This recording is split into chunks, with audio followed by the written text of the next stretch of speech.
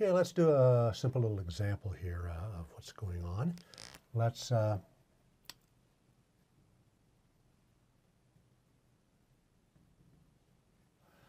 let's say that uh, X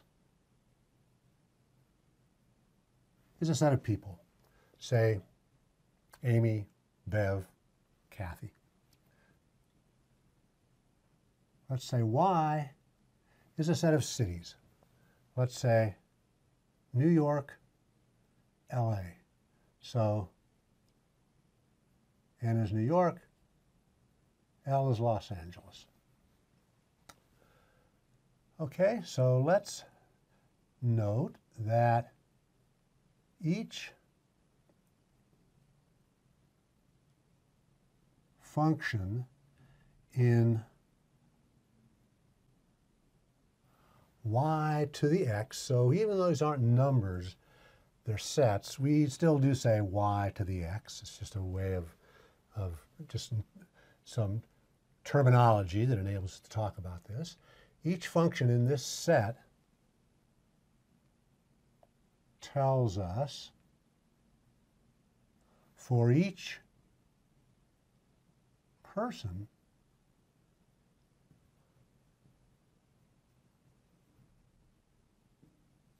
what one city she, let's say, will go to, or was in, or wants to go to.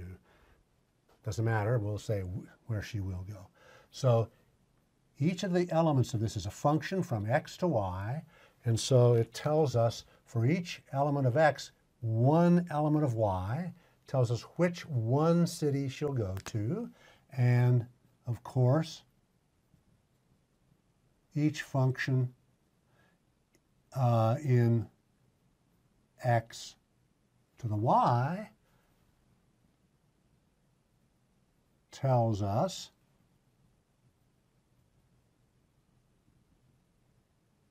for each city what one person, which single person uh, will go to that city. So in both cases here, emphasizing that a function has to assign only one thing, of course, to each element of the domain. And so in this case, of course, in fact, the fact that the, I'm interpreting this as people and cities isn't really the important point for what I'm going to say here. It's simply that there are three elements here and two elements here. So we know that the set of all functions going from x to y, that is, according to this, that is going to be 2 cubed, 2 to the third, which is 8. And we know that, I emphasize these are sets, these are capital letters, the set of all functions from y to x here, that is going to be the reverse, 3 squared. Again, we can just refer to what we did over here. In fact, I guess I should have put another parenthesis here. And so this is 3 squared, which is 9. So there's nothing important about this example, and it's not deep, and it's not making any big point. I just want to give a, a simple example with a finite, small finite number of elements in each set, and get an idea of what these sets might do and the number of elements in these sets of functions. Okay, so now let's look at another example.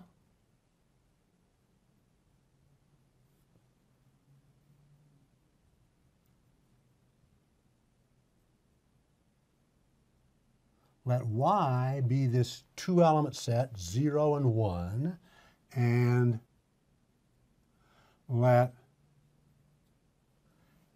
X be the set 1 up to n, or in fact any n element set would do, but this is a nice convenient one. Identify there are n elements and there are the numbers from 1 to n.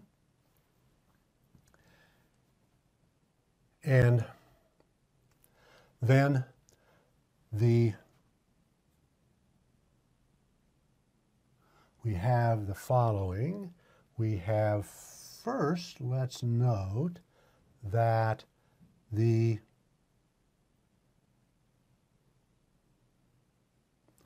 the number of elements of y to the x, similar to up here, um, is going to be uh, 2 to the n. In fact, let's write that that is going to be the number of elements in y, 2 the number of elements in x.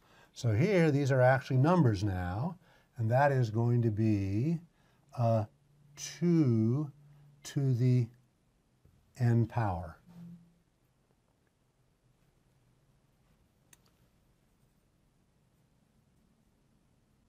But also, it's the case that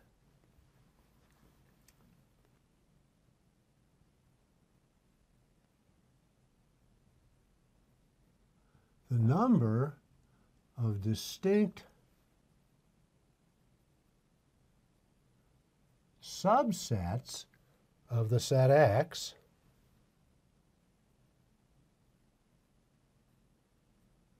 as you can verify, is also 2 to the n. Maybe I'll make that 2 look uh, a little more like that 2.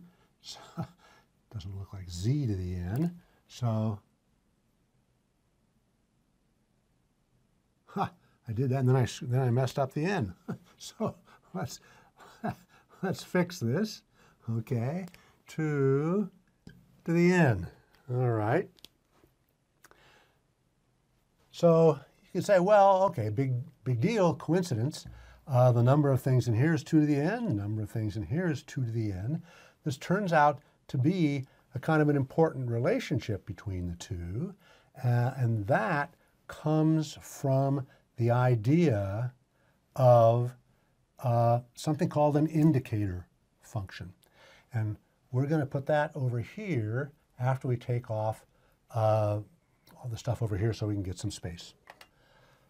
So this uh, example down here that uh, the number of functions from this uh, set x into the set consisting of just 0, 1, that the number of those functions coincides with the number of distinct subsets of the set X, that motivates a definition of something called an indicator function on the set X.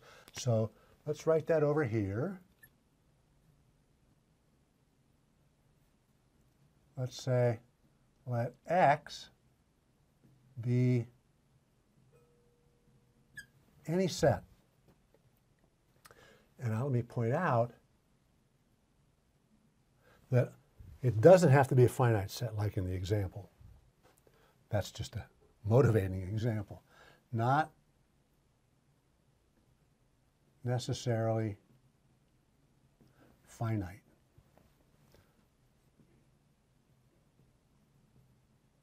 For every subset, S subset of X.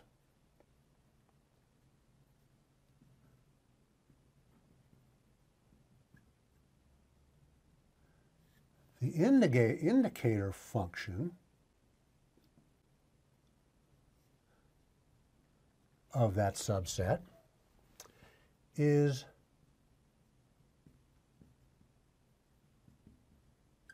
the function that we denote I for indicator, sub S, because it's the indicator function for the set S,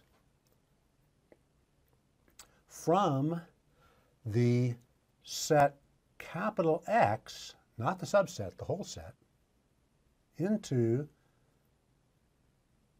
the set consisting of just 0, 1,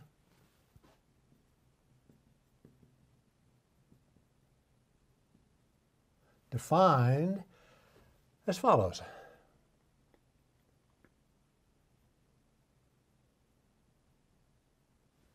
For each x in x, and I perhaps should have written that over here, for every x in the domain, I sub s of x is 1 if x is in the subset S,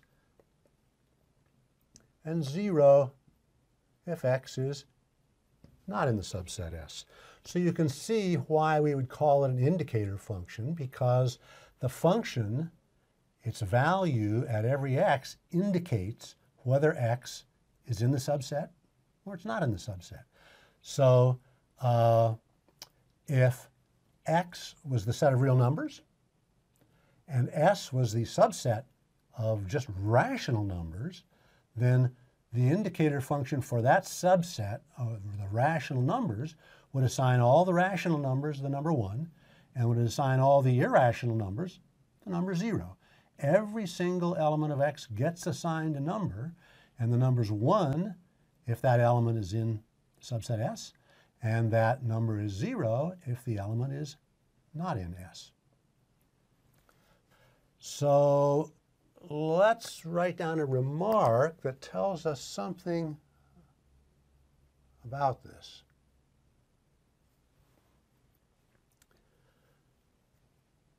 And that is that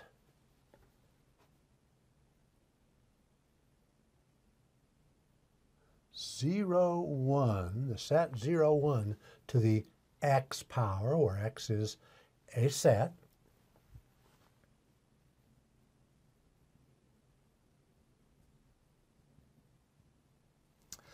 So that is the set of all indicator functions because the indicator functions are functions that go from capital X into 0, 1.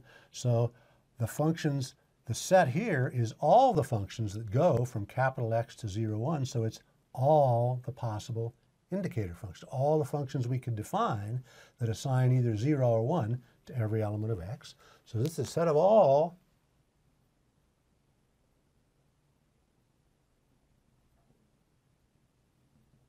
indicator functions on x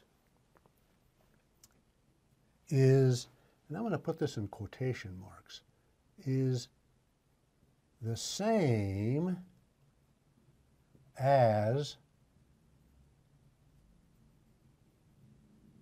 the set of all subsets of x. Now, what do I mean by the same as? What I really mean by the same as is there's a one-to-one correspondence between the functions from x into 0, 1. That is, between the indicator functions and the subsets of x. A one-to-one correspondence between those two sets.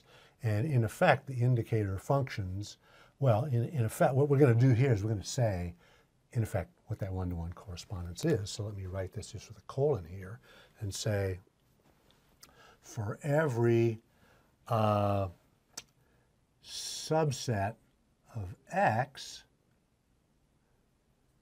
there exists a unique function i sub s,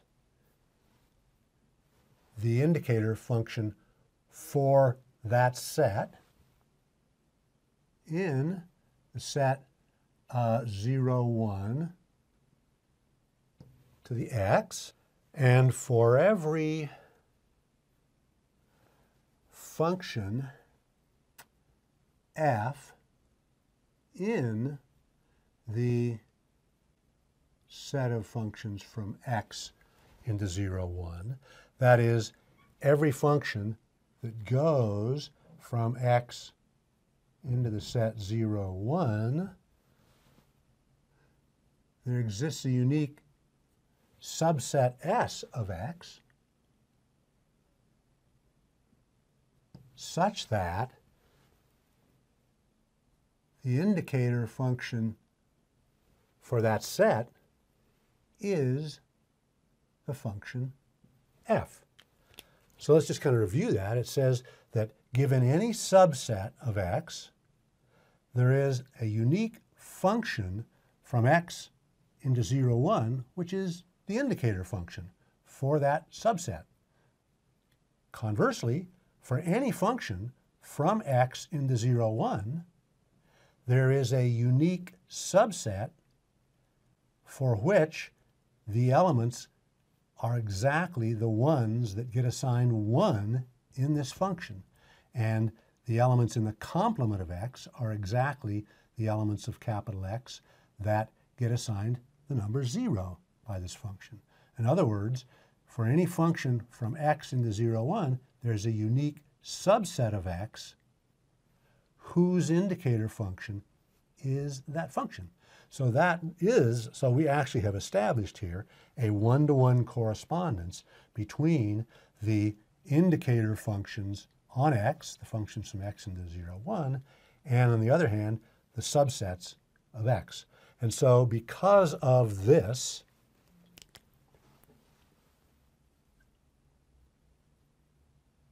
we write 2 to the capital X, where that's a set, that's a number, that's a set, but this is really just a notation. We write 2 to the X for the set of all subsets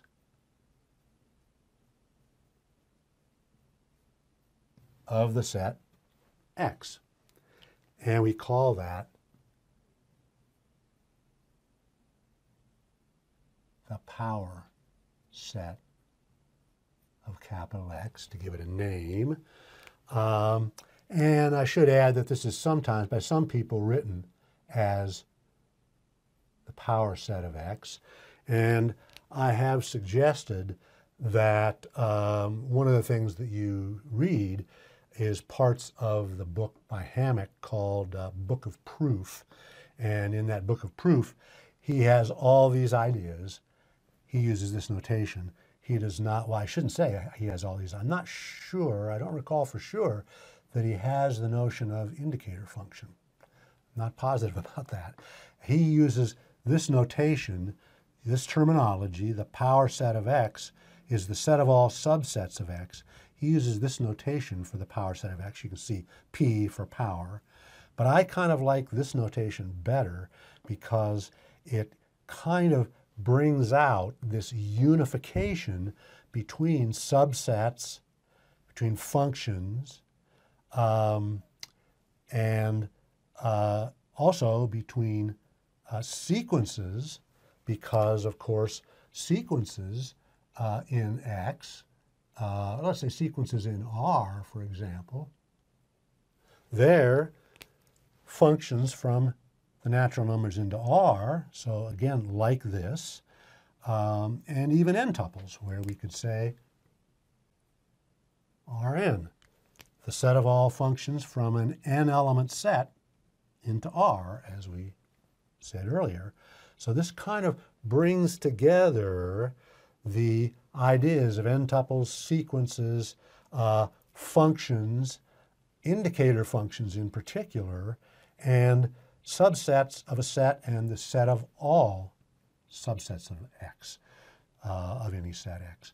So I think this unification uh, is kind of instructive, it's useful, it's a helpful way to uh, kind of get a handle on thinking about these alternative concepts. So that's it for today. Uh, see you all next time.